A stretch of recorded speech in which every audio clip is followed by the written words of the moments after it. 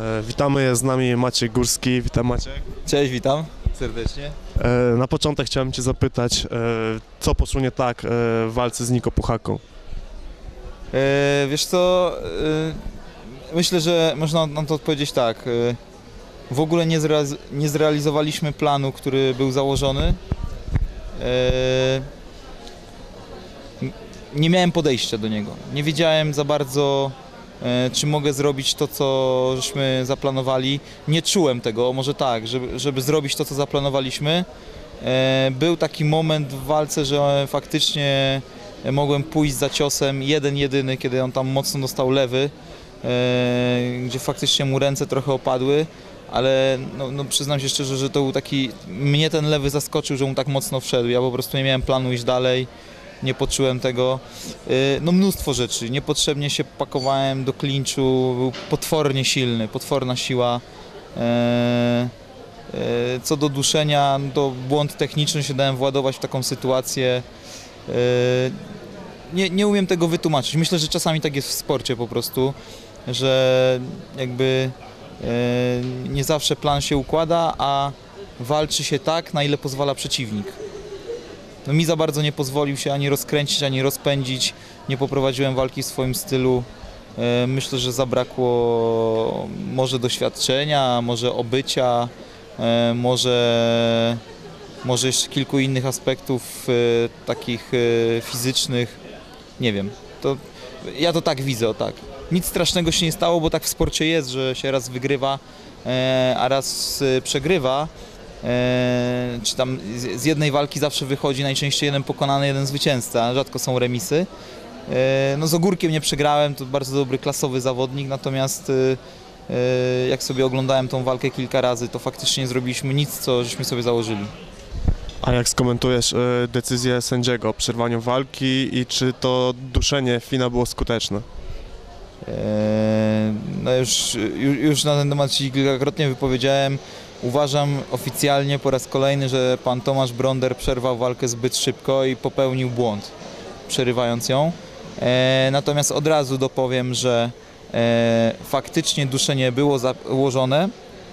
Niko Puchaka mnie nie dusił, nie odpłynąłem, e, bo nie widziałem jeszcze kogoś, kto odpływa i ma zapiętą półgardę i trzyma nogi na macie. Eee, jeżeli bym z tego wyszedł, to graniczyło, może nie graniczyłoby to, ale zakrawałoby to trochę o fuks, cud. E, może by się udało przełożyć tą rękę z powrotem. E, natomiast no, ja jeszcze do końca walczyłem. Uważam, że to nie są też żadne pretensje do Tomka Brondera, jakieś osobiste urazy czy, czy, czy prywata taka, że nie spodobał mi się teraz pan Tomek Bronder jest B. Nie no, uważam, że jako sędzia po prostu walkę o pas przy tak bezpiecznej technice, jaką jest zduszenie trójkątne, gdzie nie można nikomu skręcić karku, urwać głowy, wybić zębów, bo to nie są ciosy, powinien tą walkę puścić mniej więcej do końca. Tym bardziej, że to była walka o pas dorosłych, dużych facetów. Mm, Myślę, że no, no, no to jest, to jest e, gdzieś tam e, e, gdzieś tam też e, w moim odczuciu w cudzysłowie może dla niektórych to piękno MMA, że, że jednak e, są takie techniki, że możemy poczekać e, trochę dłużej i nic wielkiego się nie stanie.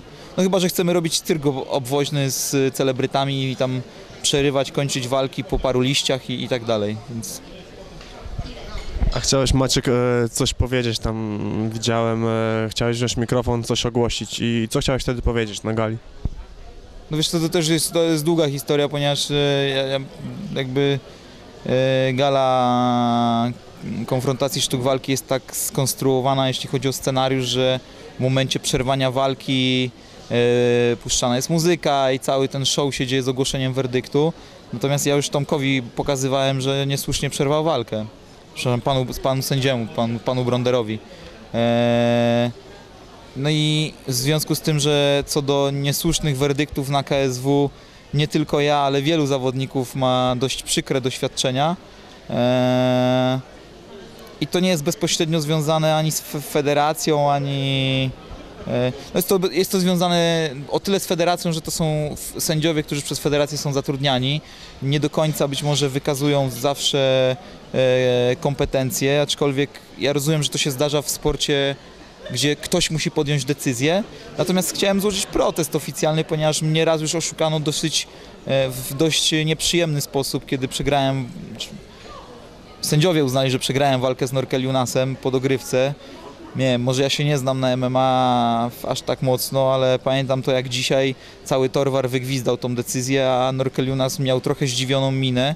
E, I jeszcze by jest taki wątek, o którym e, nie powiedziałem w wywiadzie, powiedziałem kiedyś dawno temu o tym, że e, sędzia sędziujący wtedy walkę, doskonały zawodnik Pride, Ivel, przyszedł do mnie do szatni, usiadł na ławce i kiwając głową powiedział nie bardzo wiem, co się stało, ale ty tej walki nie przegrałeś. Chyba muszę to wyjaśnić, bo nie rozumiem. I pogadaliśmy chwilę i poszedł. Tak bardziej to było dla mnie takie no, dość miłe, natomiast y, e, chciałem złożyć protest od razu, ponieważ wtedy mi powiedziano, że mogę złożyć protest po walce. E, jakby składanie tego protestu e, jest y, bezcelowe, ponieważ y, y, nie ma żadnej komisji sportowej, która te protesty rozpatrzy, niezależnej przede wszystkim, to trzeba powiedzieć. E, I jest to pewnego rodzaju populizm i propaganda, że ktoś składa protest y, do decyzji sędziego. Oczywiście teraz w przepisach jest tak, że można ten proces, protest złożyć, natomiast będzie to rozpatrywała komisja, która składa się z sędziów, którzy sędziowali tą walkę, plus dwóch właścicieli federacji. Którzy mi zakomunikowali oczywiście, że jak złożę protest, to oni nie zrobią nic, co zaszkodzi interesom federacji. Co z punktu biznesowego ja to rozumiem, natomiast wydawało mi się, że e, cały czas idziemy w tym kierunku, że chcemy z MMA e, zrobić sport, a ze sportem to już nie ma wiele wspólnego. A Jeżeli, mamy, jeżeli rozpatrujemy ten aspekt pod tym, w tym kontekście, tak? Bo jeżeli ktoś e, jest członkiem komisji, jednocześnie jest właścicielem federacji, pozostałymi członkami są sędziowie, którzy dla tej federacji pracują, a, a jeszcze słyszę informację, że e, no, właściciele federacji z racji tego, że to jest jakby ich biznes, nie zrobią nic, co zaszkodzi federacji, no to składanie protestów dla mnie jest bezcelowe. czyli mam rozumieć, że twoja decyzja jest już e, ostateczna i przemyślana A która decyzja? o zakończeniu kariery. Nie, no tak, tak, tak. Ja, no, ja się tym nie chwaliłem, wcześniej nie opowiadałem. E, tutaj tylko mój menadżer Piotr Gieleniecki gdzieś tam o tym słyszał często. E, to jest spowodowane kilkoma rzeczami. Wiadomo, że ten najgłówniejszy powód, który wzbudził taki duży skandal medialny, czyli finanse, e, jest jednym z głównych czynników, no ale nie ma się co oszukiwać, tak? E, nie może być tak, że e, dochodzimy do jakiegoś poziomu profesjonalizmu, jeśli chodzi o galę. Profe- profesjonalizmu, ponieważ gala, jeżeli chodzi o organizację, w moim mniemaniu jest zorganizowana naprawdę na dość wysokim poziomie. E, dochodzimy do profesjonalizmu, jeśli chodzi o wymagania co do jakości walk, czyli stawia się nam e, to, co miało miejsce na ostatniej gali, coraz większy pułap, e, e, jeśli chodzi o zawodników, coraz, coraz wyżej gdzieś tam mierzymy. No, a nie idą za tym pieniądze, no, a wręcz przeciwnie. No, ja do ostatnich dwóch gal dołożyłem do przygotowań i, i to nie jest tak, że tutaj od razu dementuję, Maciek Górski nie chce na nowe Porsche Cayenne, nie chce na nowe mieszkanie, bo to jeżeli ktoś myśli, że to są tego rzędu pieniądze, to, to w ogóle żyje w jakiejś fikcji. Ja po prostu chciałbym nie dokładać do tego, a już drugi raz się tak zdarzyło, więc no ja po prostu wtedy dziękuję, no bo y, w sytuacji y, i to nieważne, czy założyłem rodzinę, czy nie założyłem, no mam te parę szarych komórek i parę lat na karku, młodszy już nie będę i, i przyszedł taki moment, że po prostu y, no, gdzieś tam dojrzała we mnie ta decyzja, że raczej y, raczej nie będzie w tym sporcie już nic y, takiego się nie wydarzy, żeby, żebyśmy nagle my jako zawodnicy e, przynajmniej na tej gali zarabiali tyle pieniędzy, że e, może nie będziemy z tego żyli, ale będzie nam się to opłacało. E, Czyli głównym powodem zakończenia kariery sportowej jest kwestia finansowa, tak? Ja bym powiedział, że powiedziałbym, że to jest główny powód, ale trzeba na to naprawdę bardzo chłodno i, i rzeczowo spojrzeć, tak? Tak jak powiedziałem, to nie jest, e, to nie jest związane z tym, że e, jakby my chcemy coś więcej, co już mamy, tak?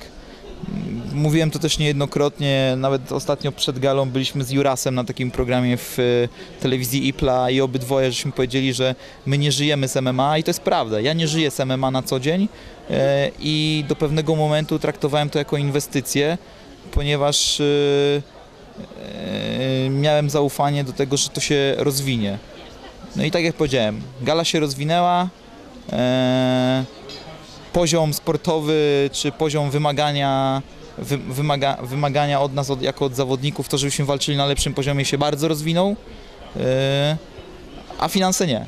Więc jakby no, no, no nie, no, ja, ja już ja po to zrezygnowałem powiedzmy, że ze sportu w, e, amatorskiego, czy jakby go tam nie nazywać, jakim było karate, że no nie było tam pieniędzy, tak? I, i ciężko było ciągle dokładać do tego, żeby się przygotowywać.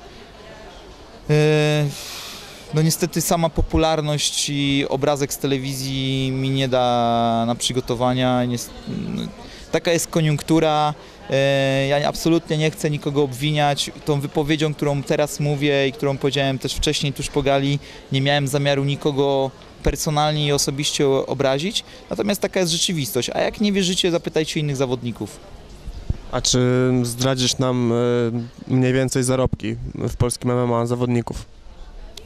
Ja się nie orientuję do końca, jak jest w polskim MMA. E, orientuję się dość mocno, jak to wygląda w KSW, natomiast e, wiem, że mm, wiem, że e, jest to tak drażliwy temat i, i jeszcze nie czas na to, żebyśmy e, o tym mówili. Natomiast myślę, że e, myślę, że e, sam fakt do tego, że sam fakt tego, że ja do, do tych i do poprzednich przygotowań dołożyłem to e, i to nie 200 zł, żeby, nie było, żeby to było jasne, e, może świadczyć o tym, że to nie są pieniądze, które, które by zwróciły, no chociażby przygotowania, o tak, no. W jednym z wywiadów widziałem, że Maciek Kowulski powiedział coś takiego, że jest e, rozczarowany twoim zachowaniem i w związku z tym e, zerwano z tobą kontrakt. E, jak to skomentujesz? Bo to jest trochę, trochę dziwne, bo ogłosiłeś zakończenie kariery, a parę dni później komunikat KSW, że kontrakt został zerwany. No jakby ci tu powiedzieć, e, mm, na całe szczęście ja nie tylko się zajmuję sportem w życiu i doskonale rozumiem, że ktoś taki komunikat ogłosił, no bo, no bo co mieli zrobić, tak? No jest to trochę śmieszne i jak można wyrzucić kogoś, kto już skończył karierę, e, ale ja jakby w pewnym sensie rozumiem ruchy e, pana Kawulskiego i pana Lewandowskiego, ponieważ e, e, no, no, no powiem tylko tyle PR-owsko-populistyczna polityka, która musi być grana, no bo po prostu e, coś musieli zrobić i jakoś musieli zareagować. Oczywiście najłatwiej mnie zdyskredytować moją osobę e, albo w ten sposób, że e, ogłaszają rozwiązanie kontraktu, w którym piszą, że w, ko- w komunikacie jest napisane, że zwalniany jestem z KSW. Jak słusznie zauważyłeś, tydzień po tym jak już sam ogłosiłem koniec kariery, jak po- powiedziałem, że już po prostu nie będę walczył i, i żeby to też była jasność, y, ja nie miałem w tym takiego celu, żeby ktoś mi podniósł garze. Ja po prostu byłem już zmęczony tymi historiami wszystkimi, które się dzieją e, gdzieś tam wewnątrz. E, a druga rzecz, y, no ja na dzień dzisiejszy nie dostałem jakby takiego pisma, że rozwiązujemy kontrakt. Poinformowano co do rozczarowania moim zachowaniem. No mnie przez internet y, przyszło się dowiedzieć, że ktoś mnie zwalnia z KSW. Nikt mi takiej informacji nie udzielił wcześniej. E, tuż po gali w niedzielę jakieś tam odbyliśmy spotkanie, no rozumiem, że moja wypowiedź i wywiad tam dla sport.pl wzbudził pewnego rodzaju zakłopotanie i, i pewnego rodzaju e, e, pewnego rodzaju niepokój u włodarzy federacji. bardzo długo żeśmy rozmawiali i wydawało mi się, że z dorosłymi ludźmi siadam do stołu i mówimy sobie o tym na koniec rozmowy, że przez najbliższe dwa tygodnie będziemy ucinać wszelkiego rodzaju komentarze na ten temat, nie będziemy podejmować decyzji publicznie e, i nie będziemy wykonywać żadnych nerwowych czy nienerwowych, ale zdecydowanych ruchów.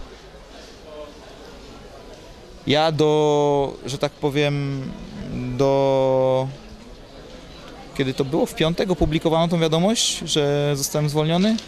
Chyba tak jakoś, mniej więcej w piątek. Ja do piątku zachowałem się moim zdaniem w porządku, ponieważ miałem gotowe wywiady, na które odpowiedziałem już w poniedziałek rano, e, ale trzymałem je do końca. Pomijając to, że propos rozczarowania się zachowaniem czyimś, w poniedziałek ukazał się wywiad, który no, miał na celu po prostu dyskredytowanie mojej osoby, w którym było napisane, że jestem przeciętnym zawodnikiem i płacą mi tyle, e, jaki poziom reprezentuję. To ja bardzo przepraszam. No, jak reprezentuję taki poziom, no to tym bardziej ja dziękuję, no bo jakby e, skoro jestem słaby i się nie nadaje, to nie ma problemu, no jakby okej.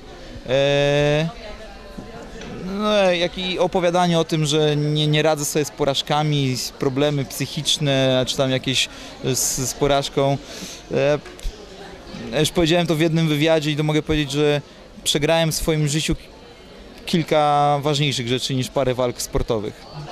Naprawdę ważniejszych i to takich, jak teraz sobie usiądę i pomyślę, to, to były naprawdę ważne rzeczy. A e, walka, e, wiadomo, że wiadomo, że no nie znam sportowca, który się cieszy z tego, że przegrał, tak? No nie, by było nie, no nie wiem, no jak jest taki, to nie wiem, no jakby ja bym tego nie rozumiał, tak psy, psy, psychologicznie właśnie, nie? Natomiast e, sobie jakoś nie radził strasznie z porażkami, to mm, nie wiem, raczej mnie one zawsze motywowały do pracy. A czy skomentujesz e, całą galę KSW 15, poziom sportowy i, i to, że większość jednak naszych zawodników e, przegrała swoje walki? Wiesz co, trudno mi będzie skomentować całą galę, ponieważ jej nie oglądałem. I do tej pory jej nie oglądałem i widziałem swoją walkę i, i walkę, walkę Antka widziałem w telewizji i uważam, że podjął słuszną decyzję, że złożył protest. Eee, zobaczymy co z tego będzie, bo co do tych protestów to już sobie wyjaśniliśmy jak to wygląda, żeby ludzie mieli świadomość. Eee, Natomiast y, gdzieś tam pokątnie widziałem y, y, no to straszne starcie już na gali, ale tak kątem oka widziałem Janka z Sokodżu. No co ci mogę powiedzieć, no, no zderzyliśmy się, powiem, dla mnie dla mnie to wyglądało tak, zderzyliśmy się z światowym poziomem MMA. I tutaj mogę powiedzieć o różnych czynnikach i względach, e, ale, ale no po prostu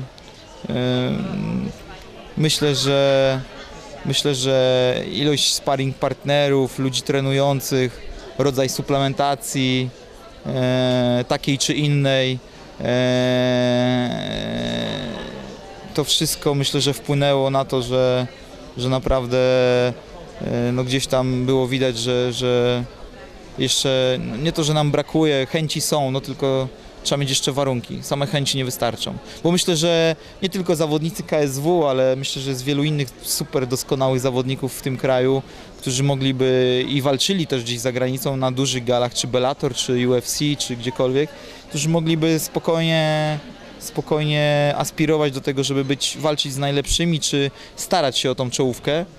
No tylko do tego są potrzebne, muszą się zejść do tego pewnego rodzaju warunki, tak? A jednym z tych warunków jest to, żeby mieć warunki do trenowania.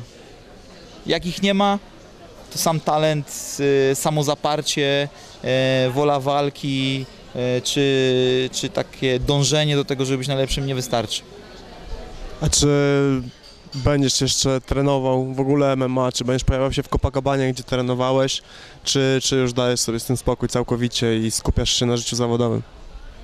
Nie, no jasne, ja, ja cały czas będę podtrzymywał gdzieś tam formę, e, chociażby z racji zawodowych, że po prostu gdzieś tam mi to jest potrzebne.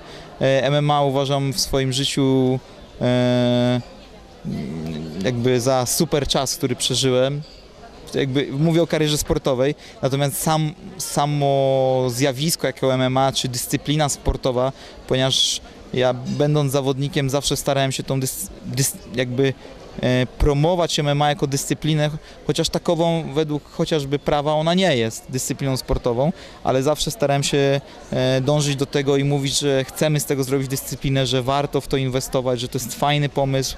E, no to jest super sprawa, jeśli chodzi chociażby o rekreację, samoobronę, e, tu gdzieś promowanie młodszych zawodników, może oni będą mieli lepsze warunki kiedyś do startów, e, może już mają niektórzy. E, słuchaj, Alma, największe zawody dla młodzieży w Polsce, jeśli chodzi o sporty walki. E, Tutaj mamy pewien projekt też do ruszenia, tam Highlander Team, myślę, że on, że on już ruszył, pomału się rozkręca, to może się na, na inną rozmowę możemy umówić, natomiast y, na pewno będę przychodził. A chcę też porobić jakieś inne rzeczy, takie ze sport, na które do tej pory brakowało czasu. Może trochę judo potrenuję w Copacabanie. E, Wiesz, teraz mam du- du- dużo takich świeżych pomysłów, tak? E, Czyli e, nie jest tak, że po gali muszę miesiąc odpocząć od sali i w ogóle nie przychodzić i nie mieć nic wspólnego z, ze sportami walki. E, Nie ma takiego ciśnienia, że na następną galę trzeba znowu wagę robić e, i się przygotowywać. Więc e, myślę, że może trochę kimona. To ja zawsze, ja jakby, wie- wiesz co, to e, MMA było dla mnie taką przygodą, bo ja się strasznie dużo nowych rzeczy musiałem wielu nauczyć, tak? No więc y, ja bardzo chętnie teraz na przykład nie widzę problemu w tym, żeby założyć biały sznurek i przyjść na judo albo na jiu-jitsu i tam się poprzewracać z, z grupą początkującą czy, czy z jakąś tam w ogóle. Także bardzo chętnie. Te, teraz tylko trochę mam dużo pracy przez do, do, do końca miesiąca, do kwietnia, a potem trochę pewnie mniej i, i, i będę ruszał jakby y, na pewno coś tam będę robił. Dobrze, w takim razie dzięki Maciek za wywiad. Był z nami Maciek Górski, dziękujemy.